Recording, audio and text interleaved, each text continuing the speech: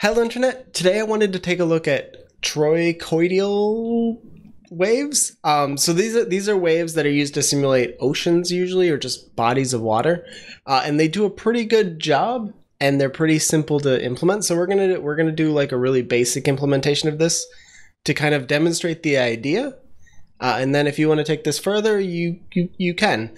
Um, so this is sort of an example from Freya Holmer. Um, she's a streamer on Twitch and does a lot of game game development stuff and is very awesome at graphics stuff. Um, so I'll leave a link to her stream in the in the description. Um, but this is sort of a, a really basic example. The idea is effectively instead of having your points and moving them up and down, you move them in a circle. Uh, and by moving them in a circle, you create points that condense and points that spread out, and that causes this this wave effect. And you can kind of alter that. Um, and then this can be expanded for actual depth. And you can uh, use this example here to introduce depth to the, the, the simulation, so that the further down you go into the in the in the water, the smaller the circle that you're rotating around is going to be. And so what I'm hoping to do here is just implement a really basic surface shader that does this. Um, so we're gonna we're gonna be working with a Unity surface shader, and then we're gonna be adding a vertex shader on top of it. Um, most of what we do isn't actually going to happen in the surface shader itself. We're going to be focusing on the vertex shader. Um, going into what shaders are, I guess you have two main types. You have a vertex shader and a fragment shader. A vertex shader is going to be the th- the thing that actually defines where the object is. Um, so if we have this cup here, um, this is like your object in this case. And so if you have multiple of these cups, you are going to have any number of them and they could be anywhere in in your house or in in the world or wherever and so the idea is this is one object, and every single one of these objects is is the same, um, ignoring any, any, like broken things or whatever. The, assume they're all the same. The idea of a vertex shader is to take that object that is all the same and figure out where to place it inside of your world. So you can you can take a template effectively and place it wherever you need it. Um, and effectively, it's telling your your camera what to draw. Um, in this case, we need to we need to do some things to actually modify what this looks like inside of that based on the position in the world. Um, and then the fragment shader is what is actually telling you how this looks. So given the position of the thing, how does it interact with all the other things in the scene? How does it interact with the lighting and how does it interact with the camera and things like that? Uh, and so those are sort of the two main components that that operate. Um, vertex shaders operate on the vertices of your mesh, and then fragment shaders operate on all of the pixels in between. Um, they're called fragment shaders because not pixel shaders typically, because with a fragment shader, um, you might get multiple fragment shaders shading the same pixel. Um, so like if we if I put this in front of my face, um, if we draw my face and then we draw this mug, uh, we just filled that pixel twice, and so it's not really coloring the pixel; it's coloring the fragment, and then potentially being overwritten. Um, so just I, I, I, don't it's not something that I'm super familiar with with why it's called that. But anyway, we're going to implement this, uh, and I will I will leave links to all of this stuff here. Um, I do have some notes over over off to the side, uh, just so I remember the syntax for how to do vertex shaders in surface shaders, um, because I I, I don't remember it. So we're just gonna go here. This is just a this is actually my platforming uh, project. We're not going to be doing anything with platforming, but uh, it's a project, so we're going to use it. We want, uh, I forgot how to spell it. Wave. That's probably wrong, um, but uh, I'll fix it. Uh, I'll try to I'll try to link the code to this uh, so you can go and grab it. Um, it's probably just going to be uh, fairly straightforward. I might just show the vertex shader and you can implement it into whatever fragment stuff you want because I'm not, I, my goal is not to touch this. Um, so this is the surface shader. The difference between a surface shader and a fragment shader that I was talking about earlier is surface shader is something that Unity introduced and it, it, it sits, it's an abstraction on top of fragment shaders and it includes a lot of the standard lighting stuff that Unity does for you. Um, so instead of specifying an output of a 3D, uh, like a RGB color, you are outputting the albedo, which is like a color, uh, a base color, and then you're also outputting like emissive, emissive colors and whether the object is metallic or smooth or if it has an alpha transparency. You're, you're outputting like properties of the thing, of the surface, rather than the color of the surface. And then Unity kind of does things with that value to make it look right in your scene. Um, so the, the advantage of using a surface shader versus a fragment shader in Unity is you get it to work properly with lighting in your scene. If you just used a fragment shader, you wouldn't get lighting without adding it, and you, you'd miss out on all those goodies. Um, so we need to add a vertex shader. And so I'm just using the uh, basic samples off of Unity's surface shader site. That's pretty much all we need to get started. And really all I'm using it for is just uh, for the syntax because I don't remember it. And the syntax is different between vertex shaders for vertex fragment shaders versus uh, vertex surface shaders. Um, so this will look slightly different depending on what you do. Um, so we're going to create this vert function. Um, the name of this doesn't matter, just like the name of this surf doesn't matter. Um, those are specified here. So in this case, we have surface surf, um, and that's telling Unity there is a surface shader with the function name of surf. And so as long as those two match, it's gonna work. Uh, and the same goes for vertex shaders. We just need to specify that there's a vertex shader and it's named vert. Um, I don't think we need shadows for this, but we'll we'll leave everything and pretend like it's going to be fine. Uh, this syntax highlighting is uh, not an official support thing. Um, so you might see things not be highlighted in the way that you expect.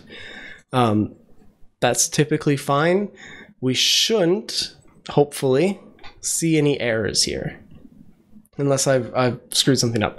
Um, the only error we have is the amount, uh, because this is using an amount to offset uh, based off of the the mesh's normals. We're not going to do that, um, so we don't need to do that. Um, there we go. Uh, we can just make this a no op actually. Done. All right. Um, so what we want here is actually to grab our world position.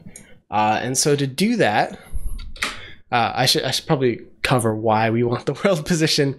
Um, the idea that I'm hoping to hoping to do here is to base this effect off of the world position of the mesh on a specific single dimension.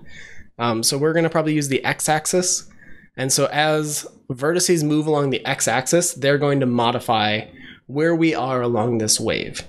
And so there, there's a few things that are going to happen. We're going to effectively be moving in a circle, and the further along that x-axis you are, the further around that circle you have you you've gone.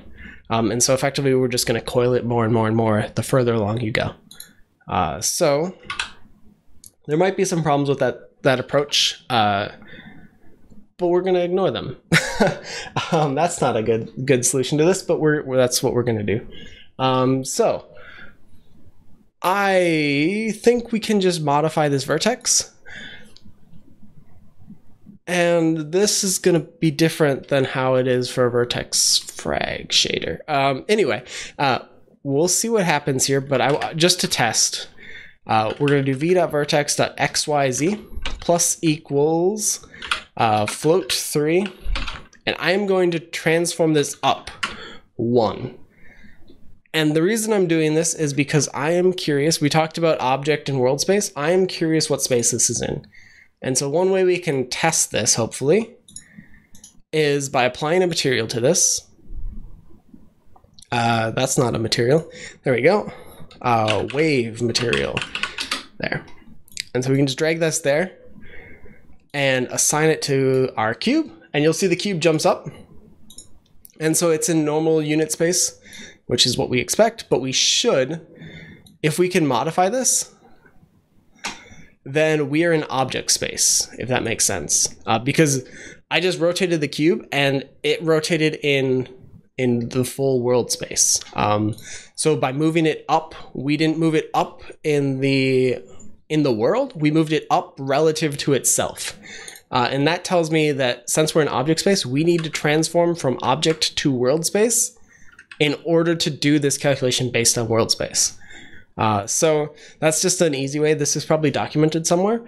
Uh, but since I didn't know and I, I didn't bother to find the documentation, we're just going to do it that way.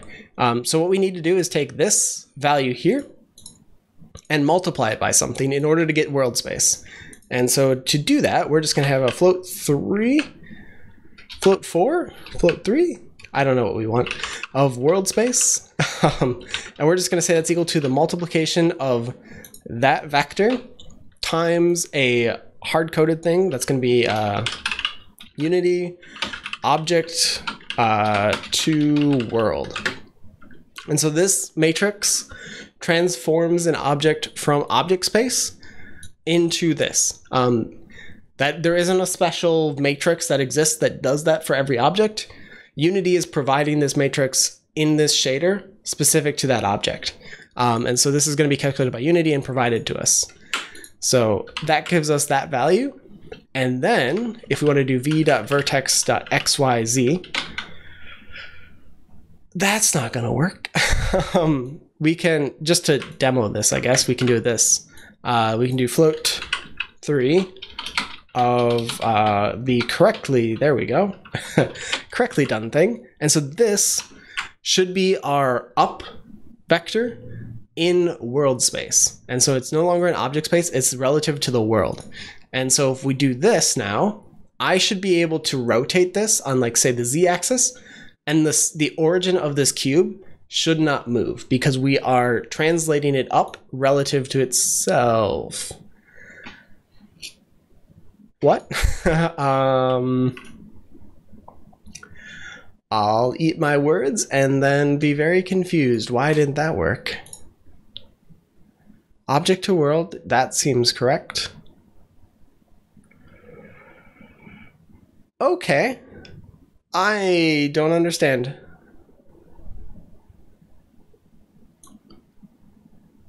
Oh, uh, we might need world to object because I want to. I this is world space. Sorry, uh, on the right side is is world space coordinates, and we want to get that into object space coordinates, which is what this left hand side of this function is expecting. And so we need to translate that up, up in world space in, back into something that the object space can use. And so now uh, I should be able to reset this. There we go. And so our cube is now sitting on top of the other cube. And as I rotate this, it stays at its origin, if that makes more sense. Anyway, um, that was kind of a, a tangent, but it, it's useful for what we're doing because we're, we're actually using this, this, these coordinate systems to do this effect.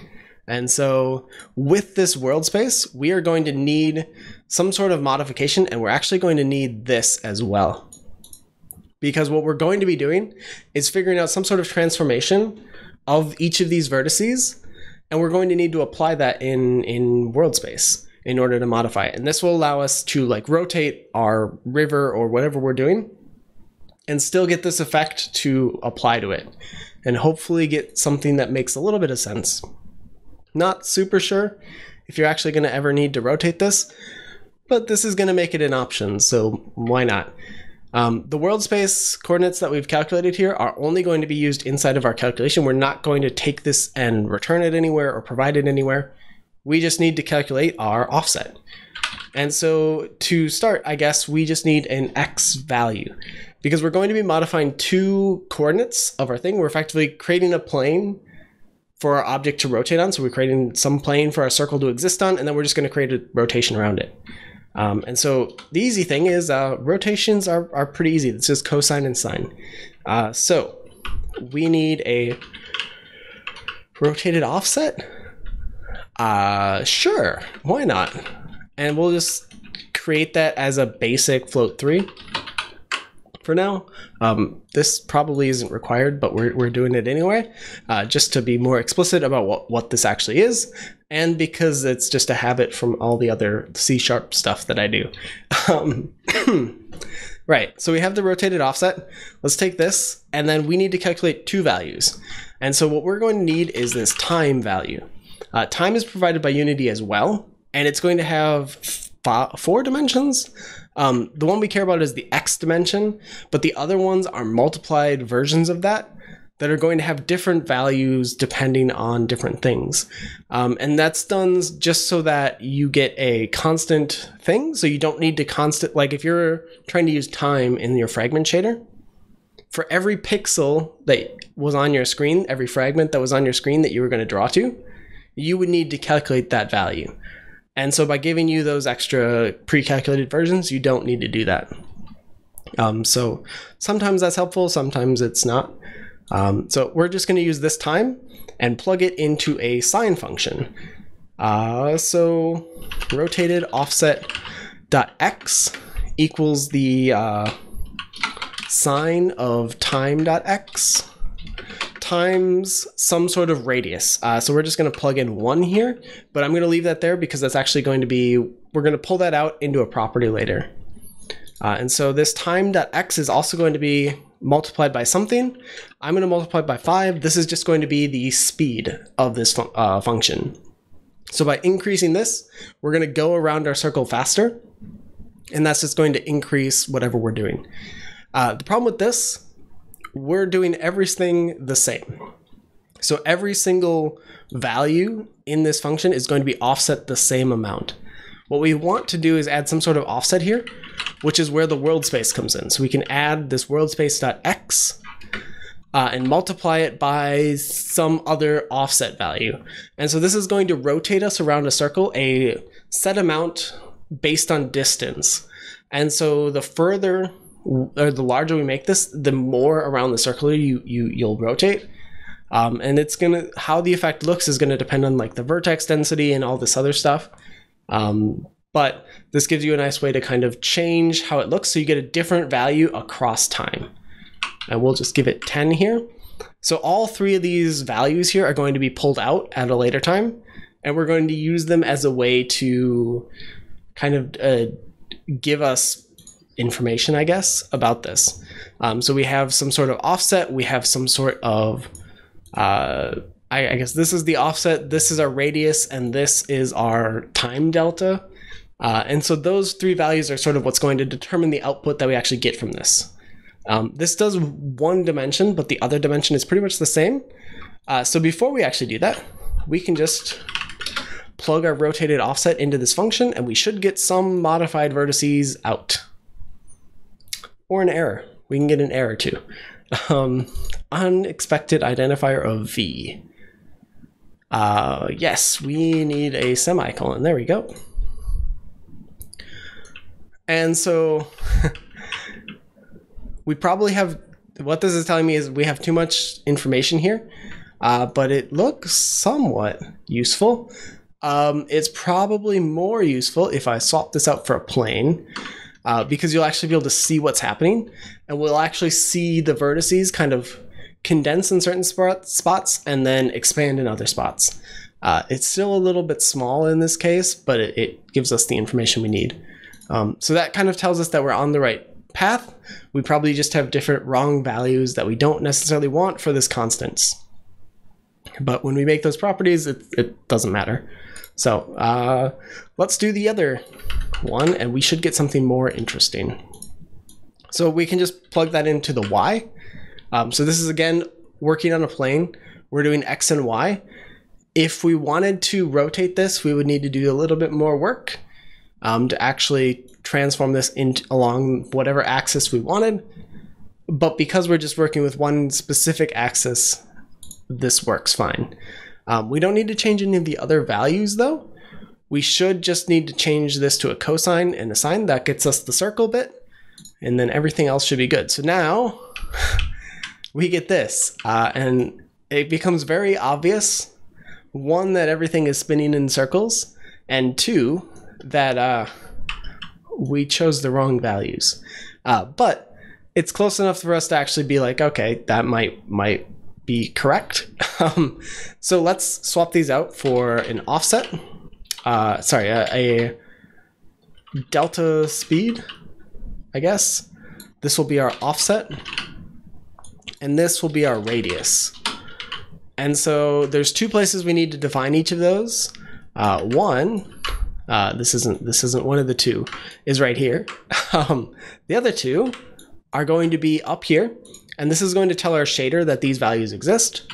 Um, so we're going to say float of delta speed, a float of offset, and a float of our radius.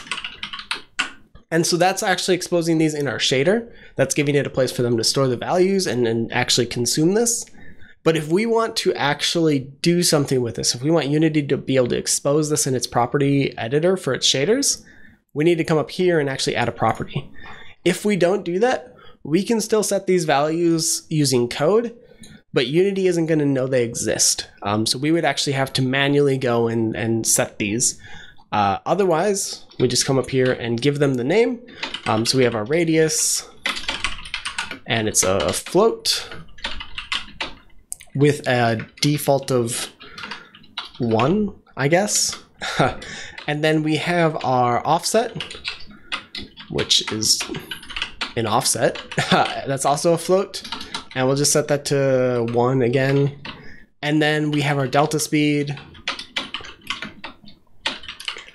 Uh, don't know if that's a good name for it, but that's what we're calling it. And then that's also a float with a value of one, I guess. Uh, this is the only place where there isn't. I mean, there's a few other places like here, uh, but there's no semicolons here, just because. Um, but that should be everything we need.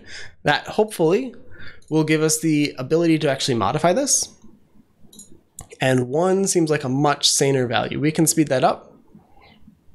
Uh, you'll notice as I change the speed, because this is actually based off of the entire time um, that x value is actually the entire time from zero into infinity. Uh, and that can have some interesting implications. In this case, it, it can mean that we, uh, if we change this, we're not changing it by like an increment. It doesn't mean that the next value is going to increase slightly more. It means that over the entire span, say we ran it for 100 seconds, if we increase it by 0.1, we just increased the entire simulation by one second because we increased it by however much over that entire span of time. Um, so it's going to be cumulative, a cumulative change. Um, and so it's not something that you, with this implementation, it's not something that you can change in real time. Um, at least not without getting weird effects. But in this case, here's what it ends up looking like. Um, I found because uh, I actually actually recorded this earlier, uh, and it, it didn't go as well. Um, you do it using negative one or negative values gets you the points on the top, and so we can we can change these to kind of get different values as we increase this offset. The size of our waves is going to get bigger, and as we also they're going to get smoother, as you can see. But as we uh, that's not right. Um, as we increase this, rather, we get uh, more choppiness because we're getting more circles happening in a smaller distance. Um, and then as we lower this, the amount of change between each of our vertices is much smaller. So we get these larger swells that you can kind of see happening here. Um, I'm going to go and insert tessellation into this because I think that would be handy. Um, there's not anything fancy. Unity provides tessellation functions for this. Um, so there's nothing for me really to show. I'm just going to add that and we're going to extend this a little bit, um, which is easy enough to do in here. So let's do that. Also moving this will change your output because we're based on world space, um, which is a handy thing to know. Um, okay, fine. Wait. Oh. Why is that? That doesn't seem right. Oh. We rotated our, our cube. But that doesn't make sense. These should align. And they don't. Uh, something else might be going on because that doesn't seem right at all. I'm gonna drop these cubes quick. Uh, and I may have screwed something up. That that's indicating something weird is going on to me, uh, because it's based on world space, right? And so if world space is working, um, they should just align with one another as they're moved apart, and they're not. Even if, even with the way these waves are working, like with how shallow they are, they should align because the the vertices along that x point should have the same value. They should have the same x value, and they clearly don't because we're getting two different results. And it looks like that world space thing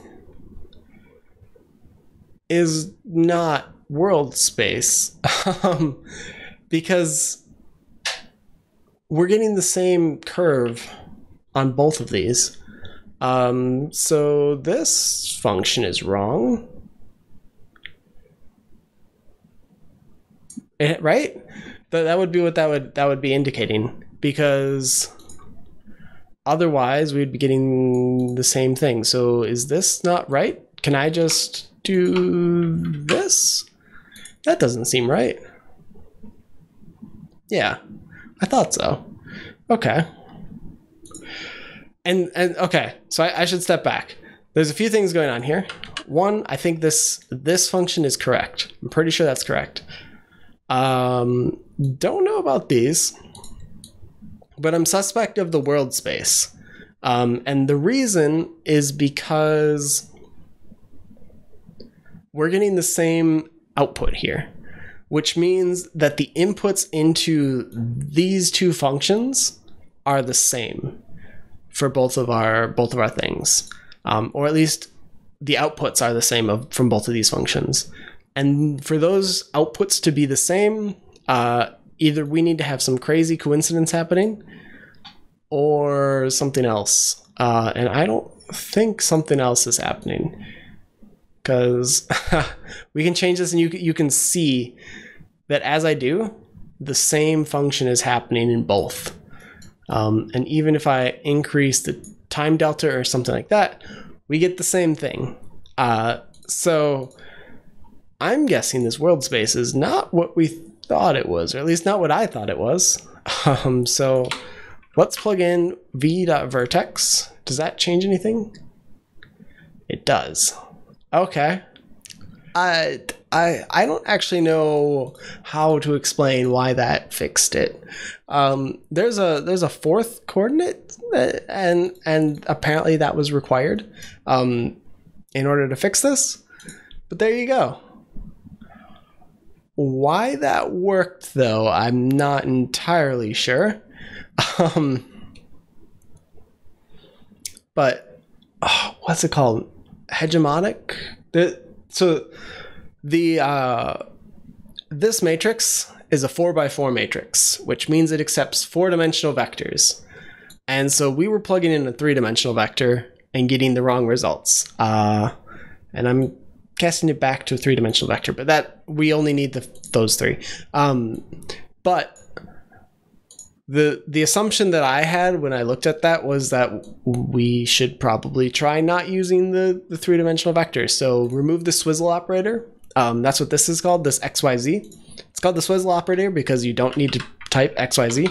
You can type ZYX or uh, ZXY or uh, YXZ or any any other combination, it, it lets you kind of transform the function however you want. Um, uh, I removed that, and that gave us this, and then we got the right result. that that isn't very helpful. Um, I'm yeah, I'm not sure I'm the best person to explain why that changed. Uh, so I'm gonna leave it there, and and I guess uh, you could look at you could look up matrix multiplication for four dimensional vectors, I guess. Uh, and I just deleted something. But uh, hegemonic, I think, is the the word. There's some there's some value for the when multiplying a 3D vector into a 4x4 matrix, the, the fourth value has significance on what, whether it's a zero or some other value. Uh, and that can actually influence things. And so I think that's what was happening here. But I don't know enough about any of this to be able to tell you if that's actually the case. Uh, and, yeah, that's that's that's the best I know. Anyway, we're going to go back and do the tessellation thing because that's going to help with this. So uh, we have the tessellation shader added in. I just used a, an edge length tessellation shader just based off of Unity's thing. If you're not familiar with it, it does the same thing as the vertex shader. You declare it the same way, uh, and you just need to add all the things. Uh, it requires a tessellation include so that it actually knows what the function is. Um, and we're the function that it needs is is this one, the Unity edge length based tessellation.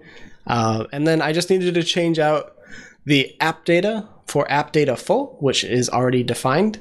So we didn't need a, a separate app data thing just floating around. That didn't make a lot of sense. So we're reusing the one that we already had. Uh, but this gets us much more detail. So we get much smoother uh, waves. And so we should be able to do something like this uh, yeah, and get some nice like ocean swells or something like nice waves. Um, we could probably do some more with this to get it uh, giving us a little bit more of a uh, wave, I guess. But I guess for like basic ocean stuff, this will probably do it. Um, and for for other water stuff, you can just tweak a few of these values to kind of get it. But anyway, I thought this was a pretty easy way to do like water style stuff. Um, and just to check um, before I do that, yeah, okay, lighting still works. Um, that was the only other question. Uh, but yeah, this is this is our our, our I guess trochoidal uh, shader, uh, and it does it does waves. Um, so I will leave links to to the, the resources that I used here, both from Unity and then uh, Freya and and a few other people. Uh, and so you should go and go and check them out. And I will try to also include some code links to this, um, either on GitHub or just embedded in the description itself. I'm not entirely sure, but I think that's mostly it. Um, so yeah, that's pretty much this. Uh, other than that, I think the only other thing that I really wanted to call out is I know a lot of schools and a lot of colleges and a lot of things, both here in the United States and outside the United States, have, have been having a lot of issues with COVID 19, uh, and they've either shut down or temporarily suspended classes or, or whatever. Uh, if you are learning computer science or are, are trying to do, do something on yourself or you have some spare time and are looking into that uh, and you need some help figuring out something, uh, feel free to reach out to me. Uh, there's a contact form on my YouTube page. Typically, that's for like business uses. Uh, but if it's something, if you if you need help with something, uh, either reach out to me there or on Twitter. My DMs are open there, or join our Discord channel. We have a Discord channel that has a whole bunch of really good engineers there that can help you learn things. Um, but hopefully, uh, we can we can we can help each other out and, and learn some cool new things on the way. Uh, so th- yeah, I guess that's that's what I wanted to say there. Uh, but yeah, that's this video. So I guess until next time, see you internet.